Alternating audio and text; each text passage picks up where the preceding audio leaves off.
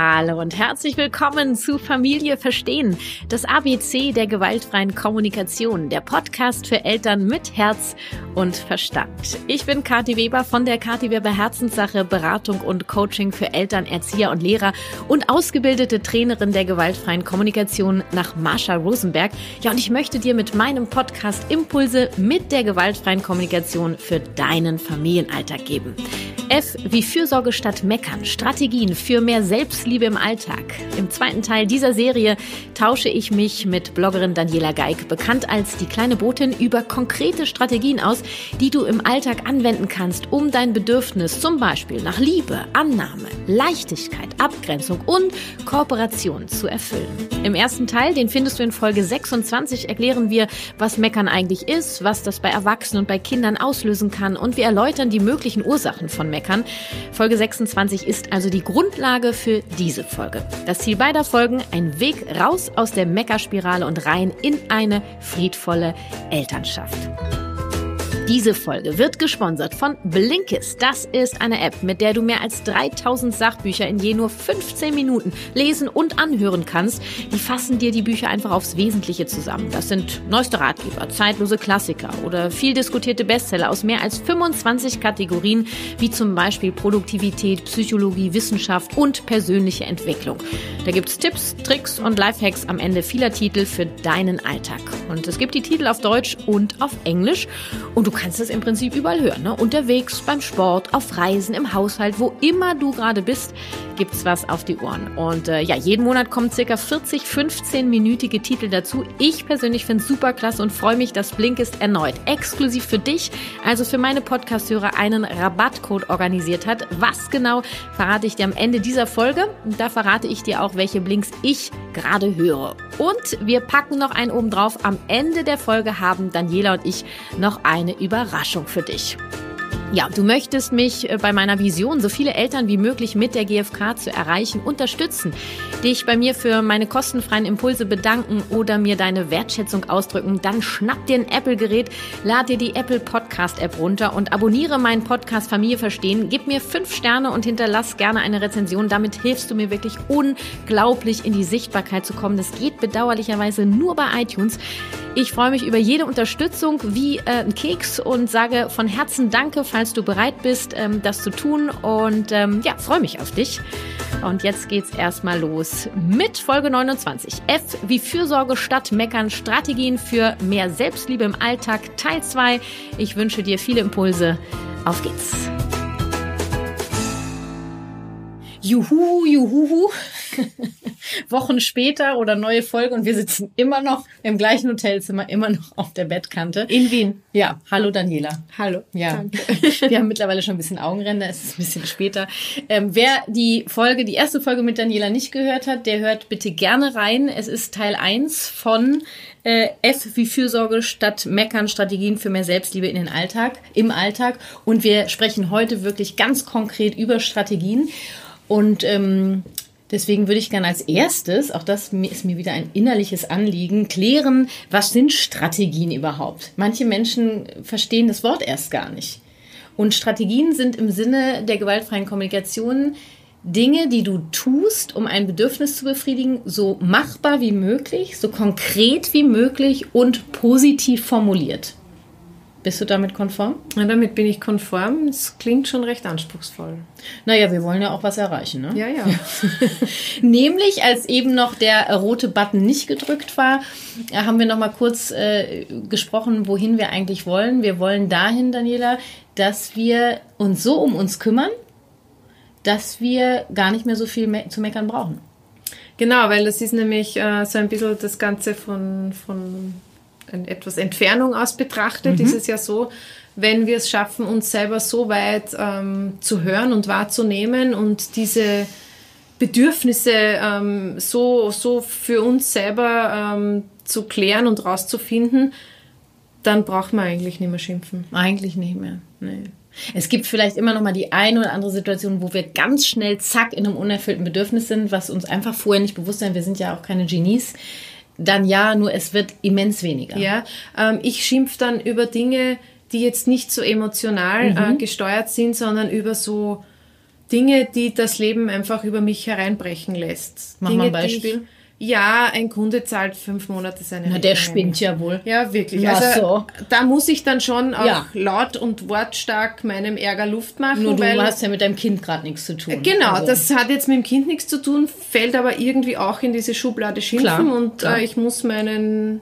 Du, ich bin ja auch ein Gefühl Riesenfan, dass der Wolf, der darf mal raus. Ja, wir klar. haben ihn ja in, unserer ersten, in unserem ersten Teil schon erwähnt, der Wolf in der GfK, der darf raus. Ja, nur wir haben schon auch eine Verantwortung für die Auswirkungen unseres Handelns. Ja, das sollte halt niemand zerfleischen. Ne? so. Ne? Und wenn wir da ein Kind haben und die Giftpfeile von oben spritzen, dann bitte äh, kümmere dich um dich. Und genau. Genau. Meine eigenen Unzulänglichkeiten oder meine Unzufriedenheiten auf jemanden anderen zu kanalisieren, das ist halt die Problematik. Genau. Ne? Und die So. gilt es zu vermeiden. So, und da wollen wir heute hin. Und zwar so machbar wie möglich, so konkret wie möglich und positiv formuliert. Das ist ja easy peasy, oder? Easy peasy. Gib mal ein Beispiel. Ja, ja, Moment. Ich, ich konzentriere mich mal kurz. Die, die warten alle darauf. Ja, ja, ja, sitzen schon so. Das sind in der gewaltfreien Kommunikation die sogenannten Handlungsbitten. Das sind die Strategien, wo du etwas machst, um Bedürfnisse zu erfüllen. Und ähm, es sei gesagt, es gibt aber Millionen Strategien.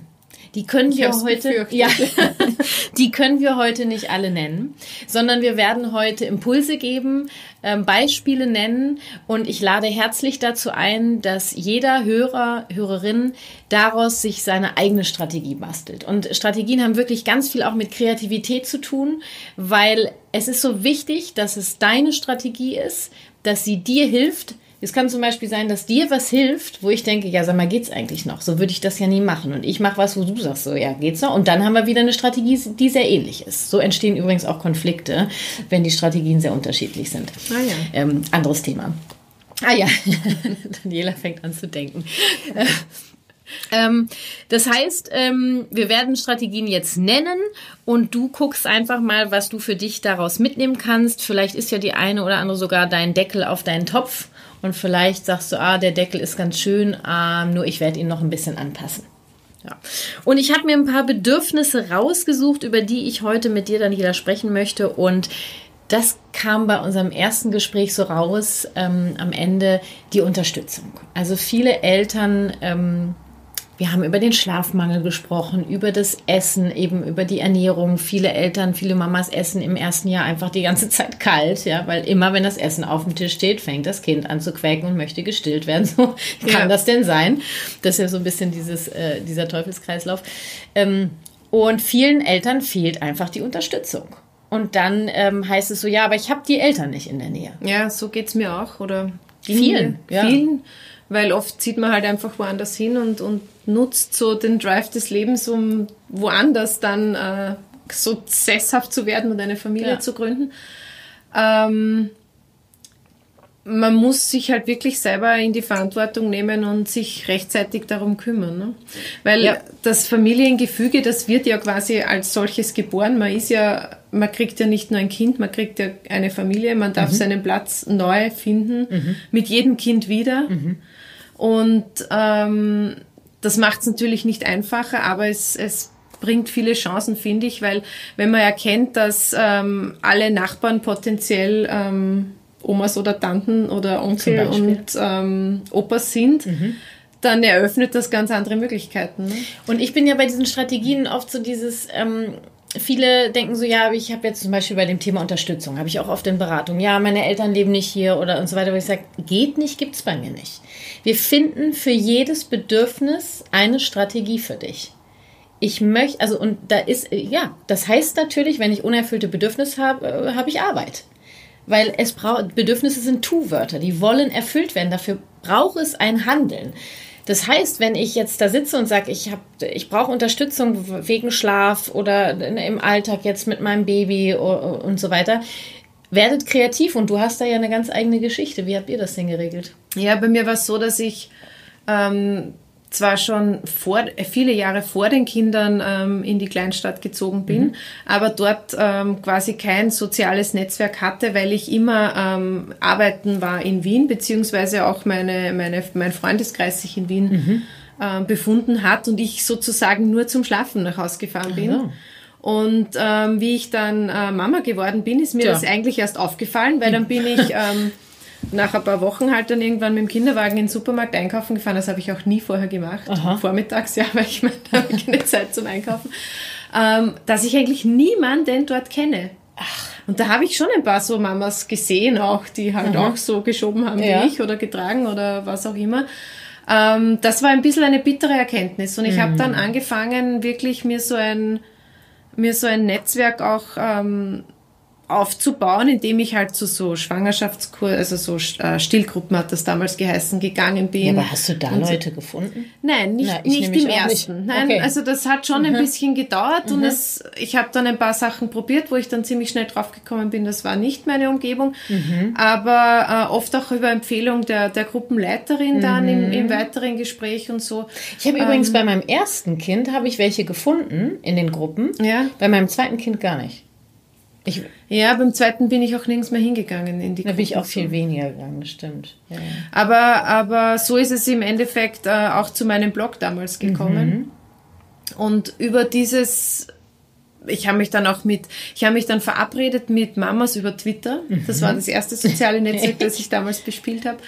Ähm, über so geheime Gruppen, weil über, den, über den großen öffentlichen Account wollten wir das auch nicht besprechen, Nee. all die Sachen. Und dann waren da, ich weiß es nicht mehr, fünf oder sieben so fixe Mamas, mit denen wir uns immer wieder getroffen haben in Wien.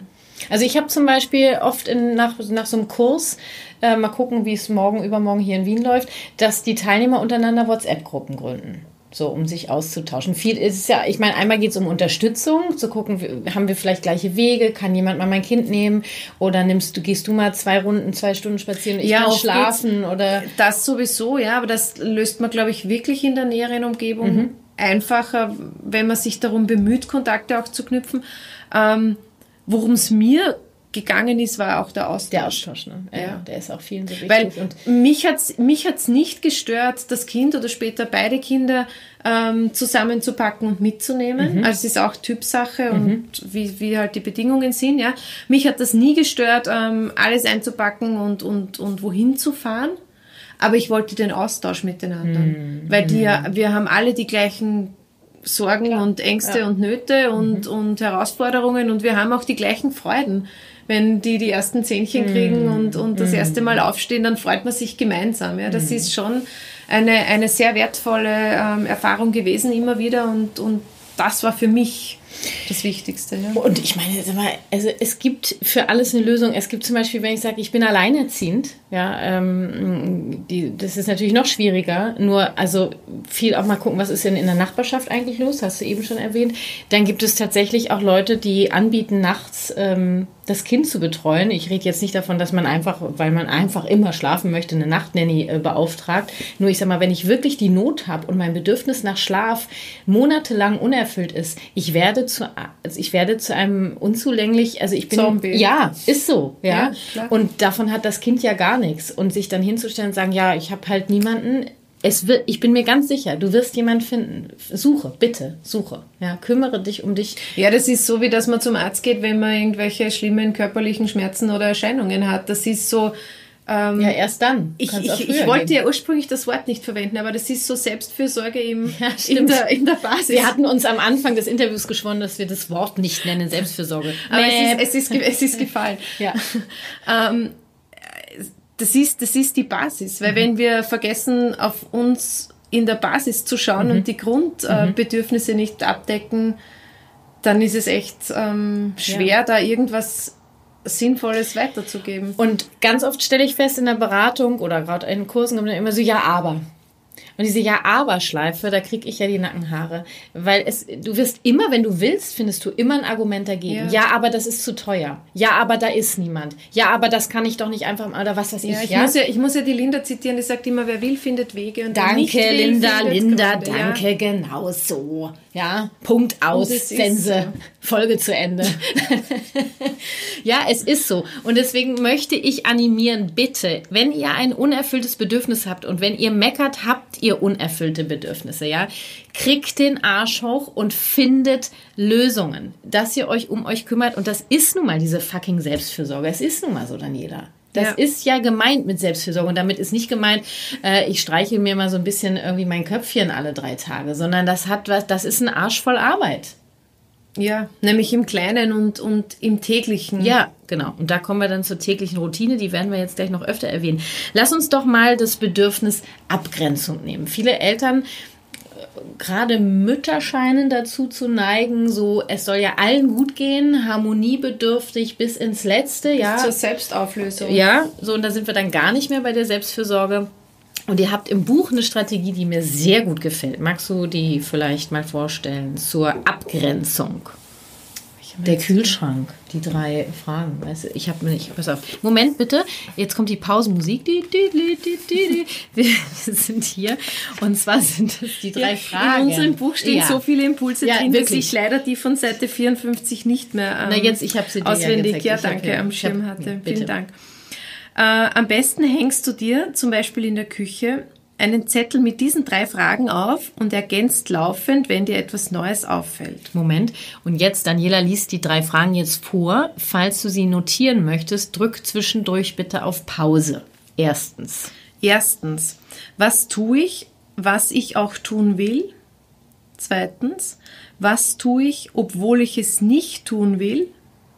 Drittens, was tue ich nicht, obwohl ich es tun will? Aha. Und da kommen dann nämlich Antworten raus. Und am Ende tust du bitte nur das, was du tun willst. Korrekt?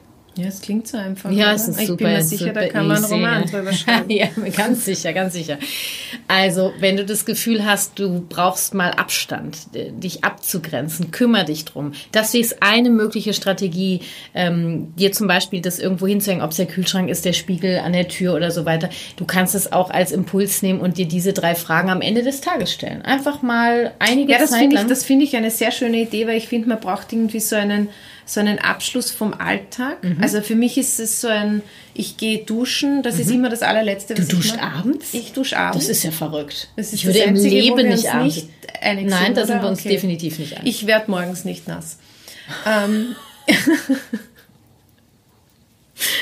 beschlossene Sache. ja, habe ich verstanden. Ähm, so, ein, so ein Ritual, wie es zum eigenen Leben eben passt, zurechtlegen und Ja. zu sagen, am Abend äh, denke ich über den einzelnen Tag nach, weil ich glaube, da wird es dann recht klar. So, und das kannst du ja, also wenn ich das Bedürfnis nach Abgrenzung habe, würden dir diese drei Fragen zum Beispiel helfen. Und das hat auch was mit Selbsthygiene zu tun. Wir haben ja im ersten Teil übers Meckern und Schimpfen gesprochen. Wenn du den Entschluss getroffen hast, da das zu reduzieren, wäre das jetzt, wenn dein Bedürfnis unerfüllt ist nach Abgrenzung, eine Möglichkeit, ob das der Kühlschrank ist, der Spiegel oder dein Abendritual. Wenn du jetzt zum Beispiel das Bedürfnis hast nach mehr Dankbarkeit in deinem Leben. Ja, also es geht dann immer so los, die Brücke. Äh, der Papa erwartet, dass die Kinder dankbarer sind. Sag ich, Moment, wir spulen nochmal zurück. Die Dankbarkeit fängt bei dir an. Wofür bist du denn dankbar? Auch das kannst du abends machen. Ja, kannst auch sagen, ich schreibe drei Dinge auf, für die ich heute dankbar bin, die ich gemacht habe. So, oder es ist das Feiern und Bedauern Ritual. Also du kannst ja abends, um den Tag abzurunden, wirklich nimm dir mal das passen, die passende Strategie als Abendritual für dein bestimmtes Bedürfnis. Ich finde, das kann man auch dann, das Dankbarkeitsritual gefällt mir sehr gut, weil ich habe das in Form eines Glases. Ähm, ich mache das jetzt in der Zwischenzeit mit den Kindern gemeinsam. Wir machen es in- einmal in der Woche. also wir jedes sammeln Jahr. so. Und am Ende des Jahres? Am Ende des Ja, Jahres hab ich haben wir ein Glas voller unglaublicher Erlebnisse, Dinge, ähm, Sachen, die sich so zugetragen haben, ganz unterschiedlich. Es ist auch nicht immer materiell natürlich, aber also bei kleinen Kindern eher schon noch, aber ähm, da kommt dann ganz viel, äh, wofür wir dankbar sind. Oh, du, das nehme ich jetzt, weil ich mache das seit Jahren mit mir selber und ich habe auf meiner Fensterbank habe ich so einen riesen Glasbottich stehen, äh, der mir sehr gefällt, habe ich extra besorgt, ja, schön. Es ist ja auch wichtig, dass das alles Freude macht, sonst machst du es ja nicht. Und ich feiere da jede Woche eine Sache aus der Woche. Warum habe ich das bisher alleine gemacht? Danke, Daniela, das bitte nehme gern. ich mit auf. das wird Schön. jetzt in die Familie äh, übertragen. Ähm, dann haben wir dieses Bedürfnis nach Leichtigkeit. Ja. Nehmen wir mal nur das Thema, was ja oft kommt, morgens das Anziehen. Das hat nichts mit Leichtigkeit zu tun. Bei oder? vielen nicht. Und dann kommt in der Beratung gerne mal ein Bedürfnis raus nach Leichtigkeit. Es gibt dann auch noch andere unerfüllte Bedürfnisse. Nehmen wir nur mal das. Das ist das gleiche wie mit der Dankbarkeit. ähm, solange ich selber nicht mit Leichtigkeit äh, da reingehe in die Situation, kann ich auch nicht davon ausgehen, dass irgendjemand anders das macht. Ja, also wenn ich schon wutschnaubend oder morgens aufstehe und sage, ja, das geht, klappt ja heute eh wieder nicht, schon wieder, die scheint schon wieder zehn Minuten später an, ja, so, ja. Wenn ich so meckernd aufstehe und in die Sache reingehe, ähm, dann habe ich von Leichtigkeit äh, wenig am Start. Und da hat äh, mir so gut gefallen, und das mache ich in der Beratung ganz oft, äh, dass ihr auch über Glaubenssätze gesprochen habt in dem ja. Buch. Und ich glaube, dass das ein Ritual ist, was gerade zum Beispiel bei dem Bedürfnis nach äh, Leichtigkeit sehr helfen kann. Und äh, jetzt ist nur die Frage, wir können jetzt natürlich Glaubenssätze raushauen hier, nur wir wissen beide, dass äh, so ein Glaubenssatz eben auch nicht einfach übergestülpt werden kann. Du hast, glaube ich, auch selber schon Prozesse Ja, das ist ein, ne? das ist ein Prozess, ähm, den ich sehr unterschätzt habe. Also ich persönlich habe ja mich im Vorfeld nicht mit der, ähm, muss ich ehrlich gestehen, nicht damit beschäftigt, wie komme ich zu einem neuen Glaubenssatz. Also mhm. mir war schon bewusst, was sind Glaubenssätze, auch ähm, so in Ansätzen bewusst, was sind Glaubenssätze, die mich bremsen und die mir jetzt irgendwie im Weg stehen. Mhm. Aber wie man zu einem neuen kommt, wusste ich nicht. Mhm. Ähm, und ich habe dann in, in der Vorbereitung auf das Buch äh, tatsächlich so eine ähm, Prozedur mit Linda gemeinsam, Prozedur. das war wirklich eine Prozedur, ja. mit Linda gemeinsam durchgemacht. Das hat, glaube ich, vier Stunden gedauert und es war wahnsinnig kräftezehrend. Mhm. Aber am Ende hatte ich einen neuen Glaubenssatz, der mich bis heute gut ähm, begleitet, weil man muss ja wissen, so ein Buch schreibt man ja nicht so schnell. Also das ist ja eine gewisse Zeit, die das braucht, bis es geschrieben und dann gedruckt und dann äh, bekannt mhm. wird. Also das ist jetzt schon wieder eine ähm, eineinhalb Jahre her, dass wir das gemacht haben, aber ähm, das zahlt sich jedenfalls aus und da gibt es viele Menschen wie die Kathi und die Linda und wie sie alle heißen, ähm, die Isabel, die du schon erwähnt hast, die das auch wirklich professionell mhm. begleiten. Mhm. Also das würde ich auch nicht nur mit einem Buch ähm, von Schritt 1 bis 37 oder so durchgehen, sondern ich würde das wirklich mit jemandem machen, der mir eben dann ähm, spiegelt, Impulse liefert, genau. ähm, so weiterhilft Schritt für Schritt, ja. um da um da ranzukommen, weil oft sind es auch Traumen, die da dahinter liegen, da muss man schon jo muss man schon äh, begleitet werden. Magst du uns deinen Glaubenssatz äh, mitteilen? Oder ja, ich kann auf das Thema kurz eingehen. Und zwar ähm, geht es bei mir darum, ähm, dass ich mir wahnsinnig schwer tue, Hilfe anzunehmen mhm. oder grundsätzlich ähm, um Hilfe zu bitten. Also das geht auch in diese Dorfrichtung, die du zuerst schon angesprochen hast. Ähm, ich versuche immer irgendwie alles selbst geregelt zu bekommen. Mhm. Das ist auch eine gute Eigenschaft. Das, also, hat, äh, das hat, hat natürlich positive Seiten und, und ja. ähm, Erfolg und so weiter zu tun. Also das passt schon so. Ähm, aber es ist mir natürlich auch, es steht mir natürlich auch im Weg. Ja. Und äh, mein neuer Glaubenssatz lautet, äh, ich darf helfen und Hilfe annehmen.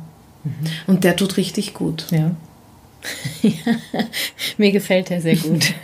Das Dorf haben wir, glaube ich, in der ersten Folge angesprochen. Ja. Ja, also wer jetzt gerade nicht weiß, wovon wir sprechen, hört bitte den ersten Teil mit Daniela und mir. Ähm, genau, also Leichtigkeit äh, können wir jetzt sagen, ich gehe leicht und entspannt durchs Leben, ich äh, gehe, ich starte leicht und äh, fröhlich in den Tag, ich bin locker und entspannt, wie auch immer. Kannst du dir jetzt überlegen, du kannst ja mal fühlen, wie sich das anfühlt, ob das was für dich ist. Ansonsten, wenn da mehr hintersteckt, empfehlen wir dir von Herzen, dir Hilfe zu holen. Das, was dann jeder schwerfällt. Nein, ab jetzt fällt es dir ja leicht. Außerdem hast du dir ganz viel Hilfe bei Linda geholt. Ja, das äh, schon, oder sie war auch irgendwie noch eine andere Ebene, aber mhm. ähm, so dieses tägliche, mhm. aber das mhm. ist wirklich leichter mhm. geworden. Ach, das freut mich. Ja, ja. Weil dann Und das sind keine leichter. großen Aktionen, Nein. das sind die Kleinigkeiten, dass ich die Nachbarin äh, in der übernächsten Tür ähm, bitte, ob sie ähm, meiner kleinen Tochter kurz Unterschlupf bittet, wenn die sich absolut dagegen wehrt, mit mir in den Supermarkt zu gehen am Nachmittag. Mhm. Ja, also wenn es draußen regnet oder irgendwie alles irgendwie Chaos ja, ist oder ja. sie schon einfach müde ist, dann darf sie sich dort auf die Couch mhm. setzen. Ja. Und das ist, damit ist mir wahnsinnig geholfen, weil und ich muss Tochter dieses auch. Ding unterbringen und ihr sowieso, ja. ja, ja. Okay. Ähm, dann haben wir das Bedürfnis nach Annahme. Und da rede ich so auch von dieser Selbstannahme. Und wir haben ja im ersten Teil auch schon über die Schuld gesprochen, sich selber zu verurteilen. Und äh, äh, genial eure Strategie, die ihr vorschlagt. Ähm, einerseits äh, bin ich immer ein Riesenfan von Glaubenssätzen in dem Teil, nur ihr habt diesen Trick mit dem Gummiband. Erklär doch mal bitte. Ja, das ist auch so ein, ähm, ein Coup von der Linda sozusagen, ja. den sie auch wahnsinnig gern anwendet in ihren Workshops. Ähm, es geht darum, ähm, ein, ein elastisches Armband zu tragen auf mhm. einem Handgelenk und es immer dann auf das andere Handgelenk zu wechseln, wenn einem auffällt, dass mhm. man nicht bei sich selber war. Also in dem Fall geht es ja um die, um die Annahme, hast mhm. du gesagt. Mhm. Da, kann man, da kann man natürlich unterschiedliche ähm, ähm, Bedeutungen dem zumessen, ja, aber, aber die Annahme, wenn ich das Gefühl habe, ich bin gerade überhaupt nicht bei mir, dann wechsle ich auf die andere mhm. Seite. Und das Ziel ist, 21 Tage das Handgelenk nicht zu wechseln. Okay. Ja. Das äh, könnte ein bisschen dauern. Das könnte ein bisschen dauern, aber das ist wirklich. Ähm, es geht übrigens du, auch, wenn jemand. Das finde ich genial. Die, die, die Strategie kannte ich Und das nicht. dauert anscheinend, das kommt aus der Gehirnforschung mit ja. den 21 Tagen. Ja, ja, ja, das müssen wir jetzt genauer nachforschen. Es gibt auch die, die 66 so lang, Wiederholungen. So lange äh, dauert es, bis man das irgendwie wirklich, genau. äh, wirklich verinnerlicht hat. Genau. Wenn jemand kein Armband trägt, also mein never Gott, ever Armbänder trägt, dann geht es auch ja. mit einem Stein in der Hosentasche. Zum Beispiel. Oder, äh, ja, oder du kannst auch an der einen Seite einen Ohrring tragen und den wechseln. Also wie gesagt, es ja. geht nicht, gibt es nicht. Okay. Genau. Das Armband ist einfach eine Idee. Und äh, ich habe gerade gesagt, äh, gedacht, so auch cool, ähm, ich äh, bin ja so ein Fan davon, auf bestimmte Wörter zu verzichten. Und nehmen wir mal nur das Wörtchen aber. Ja, statt aber gleichzeitig zu sagen, auch damit könntest du das machen. Ist ja wie so eine äh, 21-Tage-Challenge. Absolut, ja. Und jedes ja, Mal heutzutage heißt es halt Challenge. Ja, heutzutage heißt es Challenge. Äh, äh, für sowas kannst du das natürlich auch nutzen. Also unsere Strategien kannst du natürlich durchaus für dich auch umformen. Das mit dem Gummiband gefällt mir sehr. Dann ähm, zum Thema Liebe. Liebe ist ja ein Bedürfnis und kein Gefühl. Ähm, auch zum Thema Selbstliebe. Ähm, du hast es im ersten Teil erwähnt, kurz das innere Kind. Ich hoffe, ja. dass die meisten Zuhörer jetzt schon mal so eine Vorahnung haben mit dem inneren Kind. Äh, ist mir auch egal, wenn nicht. Es ist die Puppe, die ihr habt für das innere Kind. Also es ist ja quasi die kleine Daniela oder die kleine Kati.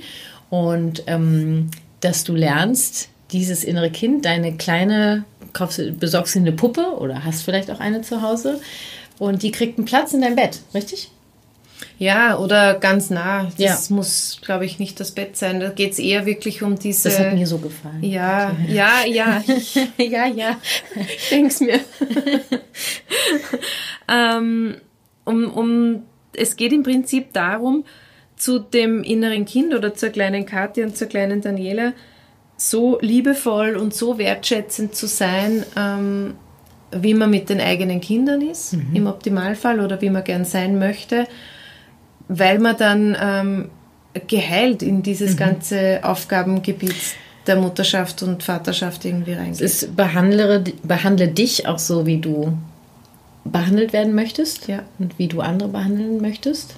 Und diese Puppe, mit der kannst du sprechen, die kannst du anziehen, die kann äh, mit an den Tisch kommen, wie auch immer. Also das klingt für den einen oder anderen jetzt vielleicht ein bisschen abgefahren. Ich finde es super genial, weil ähm, du, das ist dann Teil von dir und du fängst an, dich darum zu kümmern. Ja, es ist ja auch Teil von, von Gesprächstherapien immer ja, so, die genau. eigenen, man hat ja mehrere Persönlichkeitsanteile mhm. immer, ähm, die mit einzubeziehen, beziehungsweise auch wirklich da sein zu lassen mhm. und mhm. Ähm, ja. damit zu arbeiten, dass man eben nicht nur die erwachsene, erfolgreiche oder nee, wie auch immer Person ist, die genau. man halt jetzt gerade darstellt. Genau. Ich habe zur äh, Selbstliebe auch gerne Meditation. Ähm, also ich mache ja gern so drei, vier Minuten Meditation, mehr äh, gibt Was mein, empfiehlst du da? Ähm, und zwar ähm, äh, habe ich dann einen Glaubenssatz, dass ich äh, mich so annehme, wie ich bin, mit all dem, was ich äh, mitgebe. Und den atme ich quasi. Okay. Und den sage ich mir die ganze Zeit. Und ähm, ich stelle mir gern Wecker am Handy, so vier Minuten, damit ich äh, mich einfach, ich weiß, ich werde wieder rausgeholt. Ähm, und ich finde immer so, diese 10-Minuten-Meditation sind mir manchmal zu heftig. Und mhm. dann mache ich eben gar nichts. Und dann habe ich irgendwann gecheckt, weißt du was, wieso muss ich die denn 10 Minuten machen? Den muss ich, wer sagt denn das? Dann muss ich ja gar nicht. Und dann mache ich lieber drei oder vier Minuten statt gar keine. Ja, und seitdem mache ich es. Finde ich klug. Ja, und wenn jetzt jemand sagt, ich will aber nur zwei Minuten, dann machst du halt nur zwei Minuten. Und wenn jemand sagt, ich will aber zehn Minuten, dann mach doch bitte zehn ja, Minuten. Das, das Handy und der Wecker sind geduldig. Ne? Ja, genau.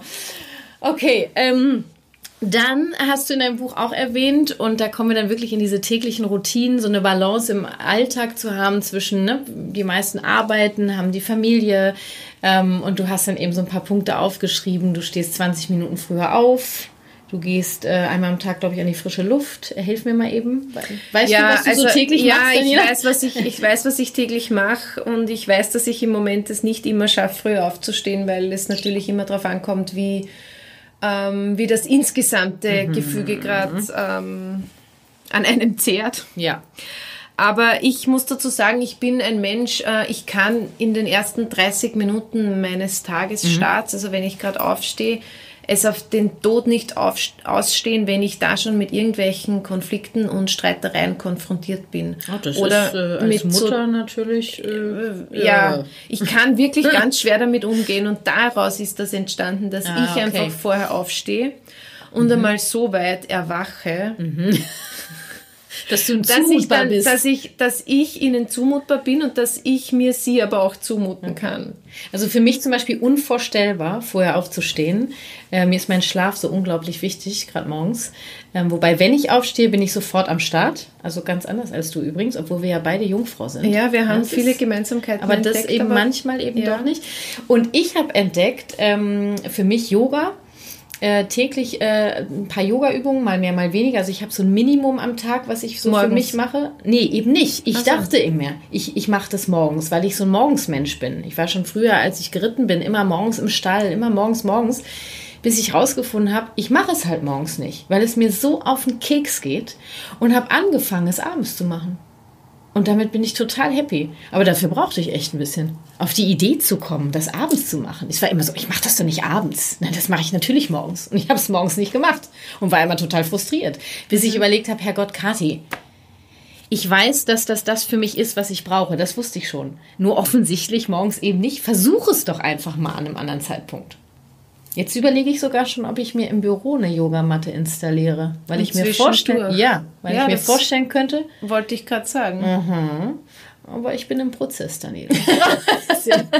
du musst ja auch noch irgendwelche, irgendwelche Ziele und irgendwelche. Naja, natürlich. Ähm, Was machst du noch in deinem, in deinem Alltag?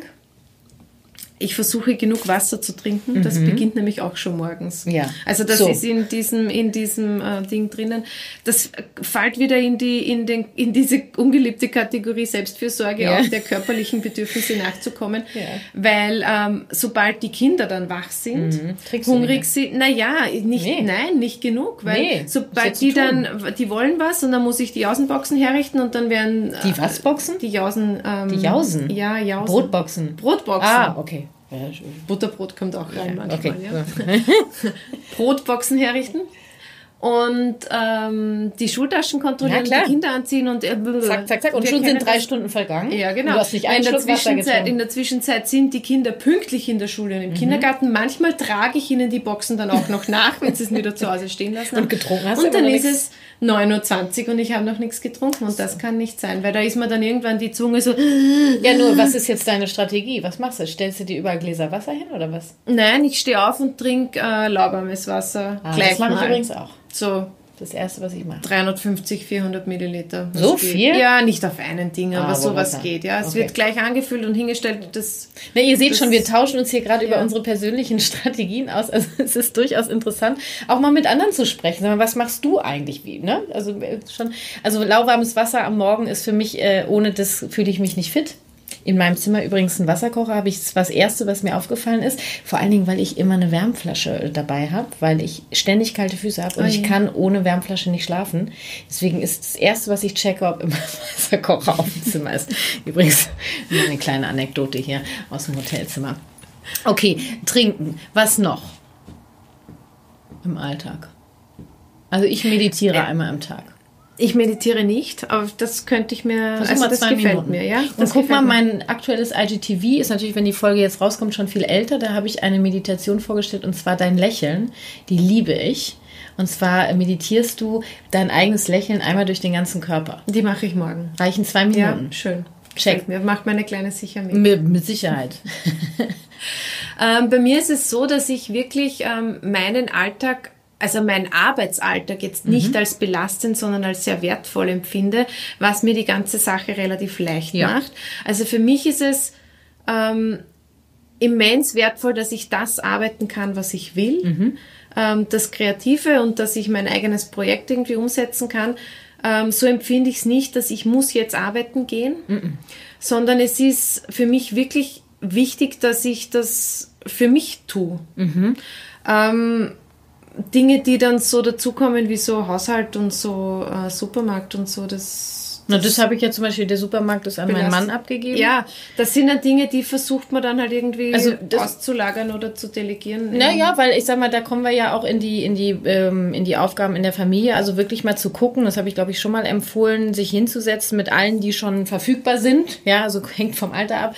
Der Ehemann oder Partner ist es definitiv. Ja. Was gibt es überhaupt alles für Aufgaben und welche mache ich eigentlich lieber und welche mache ich nicht haben, so gerne? haben wir auch eine Liste dazu im Buch sogar, ich gar nicht eine gesehen, Tabelle, inhaliert. ähm, doch, stimmt, ich erinnere mich. wo man Weiter wirklich, wo man wirklich eintragen kann, Wer äh, macht was. wer macht was. Und wichtig- am Ende wird man dann erkennen, ähm, wie das Ganze verteilt ist. Und dann kann man sich überlegen, wie man das umverteilt. Na und, wichtig ist bei der Tabelle auch dann nachher zu gucken, wenn du das umverteilst, wer macht denn was lieber?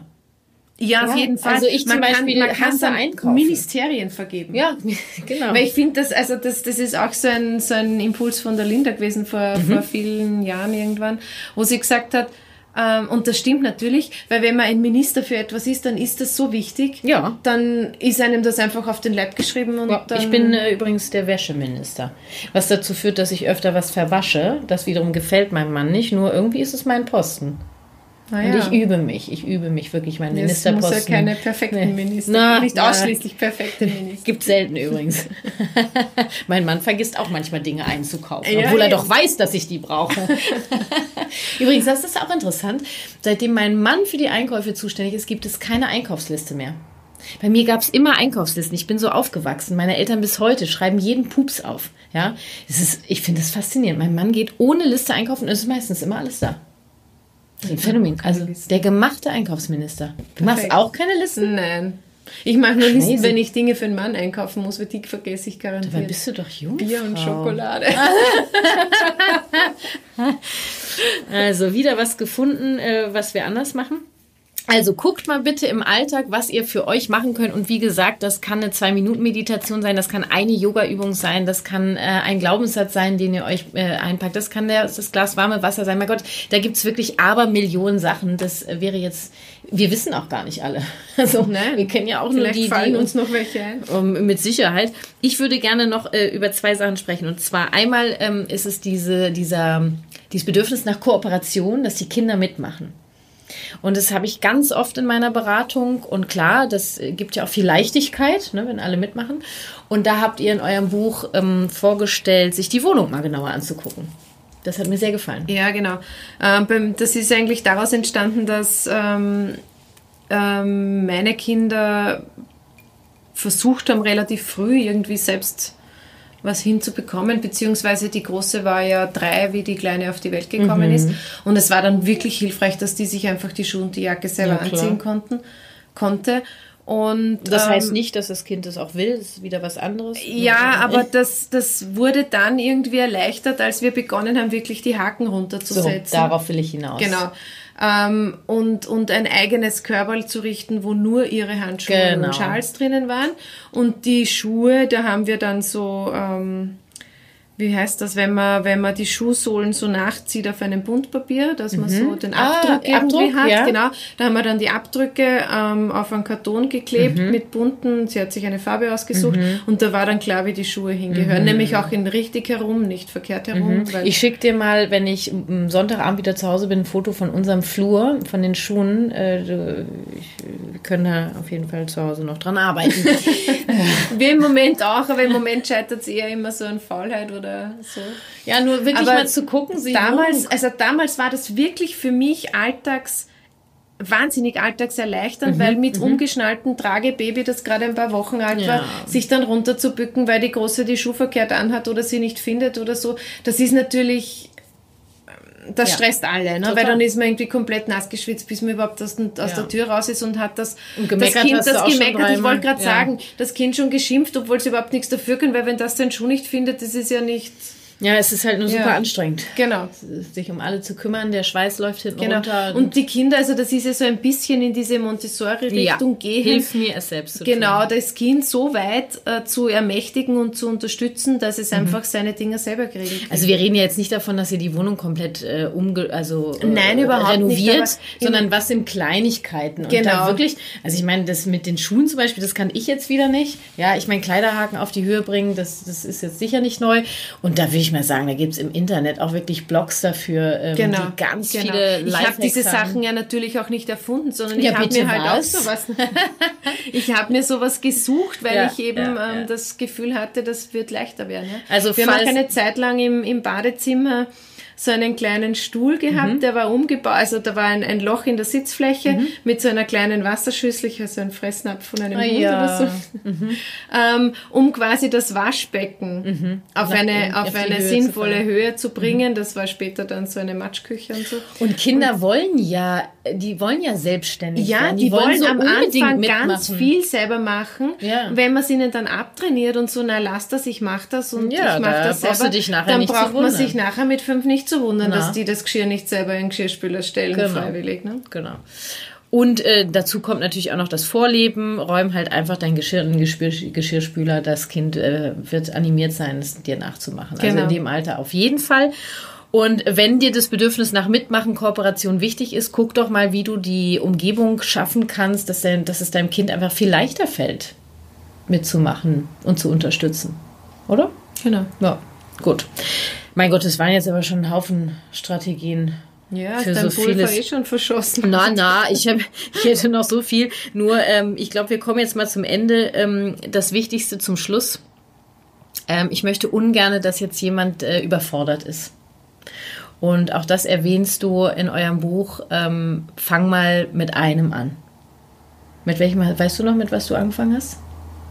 Mit welchem Bedürfnis, Strategie?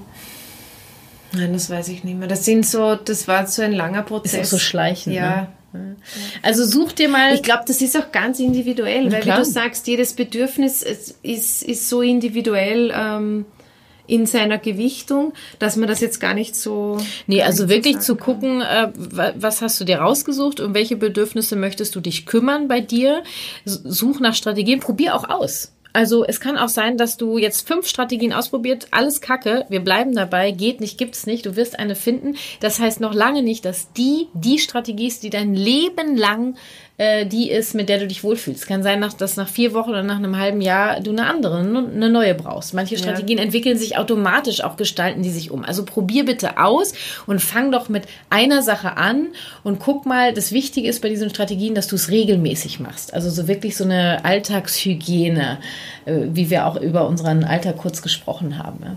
Das ist, ähm, glaube ich, wichtig, weil jeder, der jetzt dann anfängt, ja, jetzt mache ich alles, jetzt ändere ich alles und jetzt mache ich ganz, jetzt mache ich, wir können ja auch noch anfangen, äh, das, das und das mache ich und Ja, die das ganze Wohnung genau gestalte ich vier. Tage und dann Na, wird noch, alles noch nicht mal. Ja, da fängst du, geworfen, ja, ja. genau. Also die Freude ist das Wichtigste dran. Du machst es für dich und für deine Familie, für deine Kinder.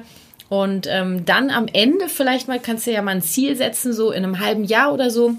Machst du noch mal einen Test, wie viel du meckerst. Und dann bin ich gespannt auf das Ergebnis. Ich auch. Da hätte ich jetzt schon fast Bock, darauf aufzurufen bei Instagram. Äh, ich denke mal drüber nach. Dass wir auch mal die Ergebnisse sehen, Ja. weißt du? Ähm, so ein, so ein, wie nennt so ein Track, Tracker ist das, ne? Genau. Na gut. So, äh, wir schlafen jetzt hier gleich ein. Ich würde sagen, wir sind fertig. Wir haben viele Strategien gegeben und ihr wisst ja, es gibt aber Millionen. Sucht euch eure Strategie aus. Meine Strategie jetzt ist definitiv schlafen.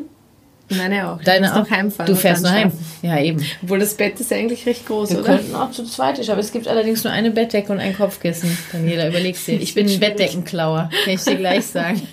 Daniela, ich danke dir so sehr, dass du hier teil warst in meinem Podcast und äh, für die vielen Impulse. Danke, dass ich zu Gast sein durfte. Bist, hast du noch was auf Lager oder bist du durch? Ich bin durch. Alles klar. Da, dann äh, riesen Dankeschön und euch da draußen viel Freude beim äh, Selbstlieben. Um euch kümmern. Ja, Habt selbst euch um lieb. euch kümmern, das Ja. klingt gut. Habt euch lieb. Ciao, ciao, bis bald. Ciao. So viele Strategien für mehr Selbstliebe. Viel Freude wünsche ich dir damit. Ja, und du möchtest dich und dein Kind besser verstehen und die gewaltfreie Kommunikation in deinen Alltag integrieren und leben. Dann mach mit bei meinem GFK Online-Kurs. Ende Mai geht's los mit Kindern in Verbindung. Dein Online-Kurs mit der gewaltfreien Kommunikation für mehr Gelassenheit im Familienalltag. Trag dich jetzt unverbindlich in die Warteliste ein und du bekommst exklusive Impulse mit der gewaltfreien Kommunikation und erfährst als erste Erster, wann du dich anmelden kannst und dir deinen Platz sichern kannst. Den Link dazu findest du natürlich in den Show Notes. Und jetzt zum super Rabattcode von Blinkist für dich. Du bekommst 25% Rabatt auf ein Premium-Jahresabo bei Blinkist und vorher kannst du das Ganze sieben Tage lang kostenfrei testen. Geh einfach mal auf blinkist.de slash Familie verstehen. Also äh, Blinkist wird geschrieben B-L-I-N-K-I-S-T und Familie verstehen wird klein geschrieben und zusammen. Ich packe dir den Link natürlich auch in die Shownotes dieser Folge und hier nochmal für dich blinkist.de slash Familie verstehen. Und äh, ich habe aktuell die Blinks von Gelassen durch den Alltag von Oliver Patterson auf dem Ohr. In neun Blinks werden mir da praktische Übungen für mehr Leichtigkeit und Gelassenheit im Alltag vorgestellt und ich habe tatsächlich schon zwei davon in meine Alltagsroutine integriert. Hör am besten gleich mal rein. Vielen Dank an Blinkist für die Unterstützung an dieser Stelle und für dich nochmal exklusiv 25% für ein Premium-Jahresabo auf blinkist.de slash Familie verstehen. Viel Freude damit. Ja, und jetzt zur Überraschung für dich. Auf meinem Instagram-Account darf ich zwei Exemplare von Danielas Buch verlosen, welches sie zusammen mit Linda Sylaba geschrieben hat. Die Schimpfdiät. Ein Buch voller Strategien gegen Meckern. Wirklich eine Schatzkiste, das Buch. Und die Verlosung findet Ostermontag am 13.04. statt. Und du findest mich bei Instagram unter Kati Weber Herzenssache. An dieser Stelle natürlich auch ein fettes Dankeschön an Daniela für unseren Austausch und alle Links zu Daniela selbstverständlich in den Shownotes dieser Folge. Das war Familie verstehen, das ABC der gewaltfreien Kommunikation, der Podcast für Eltern mit Herz und Verstand. Und falls du trotz meiner Impulse hier im Podcast oder auf Instagram in einem Familienkonflikt feststeckst, dann kann ich dir meine Beratung sehr ans Herz legen. Alle Links zu meinen Angeboten findest du in den Shownotes und wichtig für alle Herzensletter-Abonnenten gibt es ein Freebook GFK in Kindersprache als Begrüßungsgeschenk. Ich packe dir das alles in die Shownotes. Und ähm, ja, du möchtest mich bei meiner Vision, so viele Eltern wie möglich mit der gewaltfreien Kommunikation zu erreichen, unterstützen, dich äh, bei mir für meine kostenfreien Impulse bedanken oder mir deine Wertschätzung ausdrücken, dann schnapp dir ein Apple-Gerät, lad dir die Apple Podcast-App runter und abonniere meinen Podcast Familie verstehen. Gib mir fünf Sterne und hinterlass eine Rezension. Damit hilfst du mir wirklich unglaublich in die Sichtbarkeit zu kommen und ich freue mich über jede Unterstützung wie ein kleiner Keks und äh, danke dir von Herzen, falls du bereit bist, mich zu unterstützen und freue mich auf dich, egal wo. Lass uns gemeinsam die Welt ein wenig freundlicher gestalten. Deine Katja.